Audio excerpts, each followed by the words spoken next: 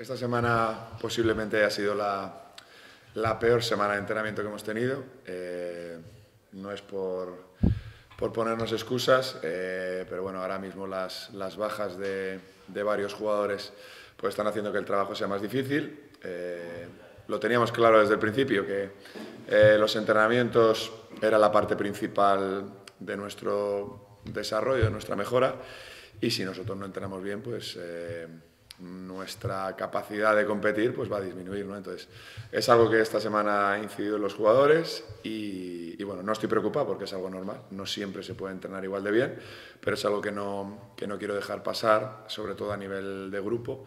Eh, que tengan claro que para nosotros entrenar bien y con concentración es, es vital. ¿Cómo es la... Bueno, ahora viene una buena dinámica. Eh, con los dos jugadores americanos que, ficharon, pues han, han, subido sus prestaciones. De hecho, uno de ellos creo que es el jugador más valorado de la liga. Eh, está haciendo 20-13, ¿no? 26 de valoración. Estamos hablando de un jugador eh, de muy buen nivel, eh, encima en una posición en la que nosotros en los últimos partidos estamos sufriendo, que es en el juego interior.